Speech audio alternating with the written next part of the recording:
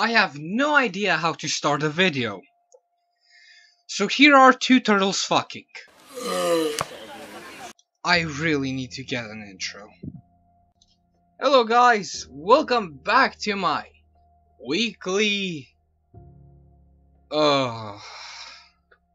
You know what? I actually did try to put out content, but, you know, things happen. Like life! My intros turned into comedy sketches more than actual intros that explain shit to the viewer.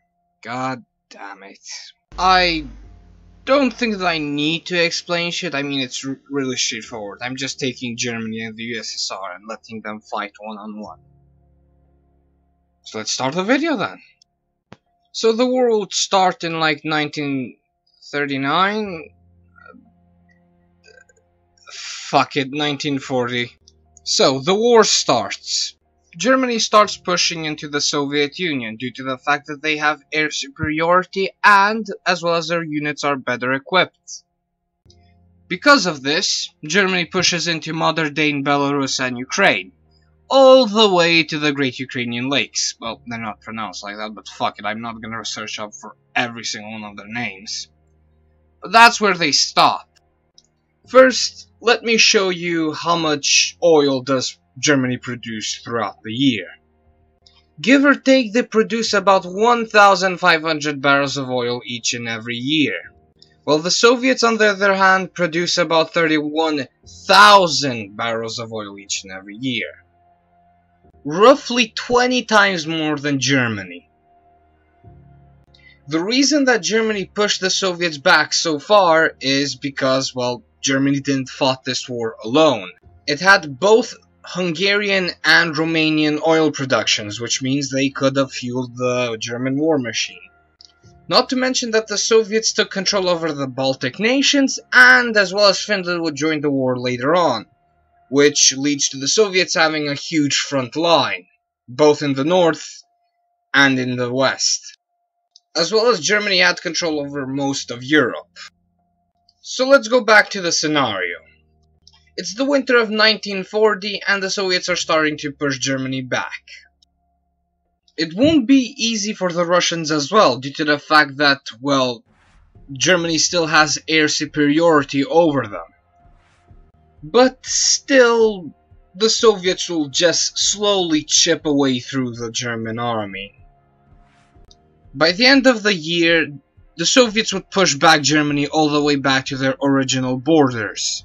By this point, the Soviets would take air superiority over Germany.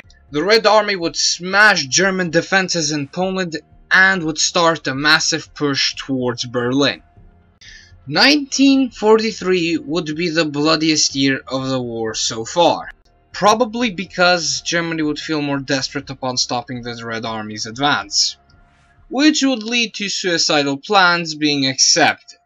The Soviets would be split into two major front lines, the North and the South.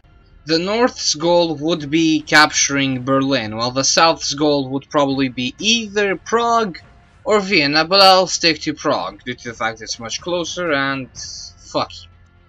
It's 1944 and Germany has been pushed back to its pre-19 39 borders. And my throat fucking hurts. So let's finish this goddamn motherfucking video. They push Germany and reach Berlin by March or April, I don't know, it's alternate history, use your imagination. They win, now they push through the north and slowly make their way to the south. 1st of February 1945, Germany officially surrenders. The war has ended in Soviet victory.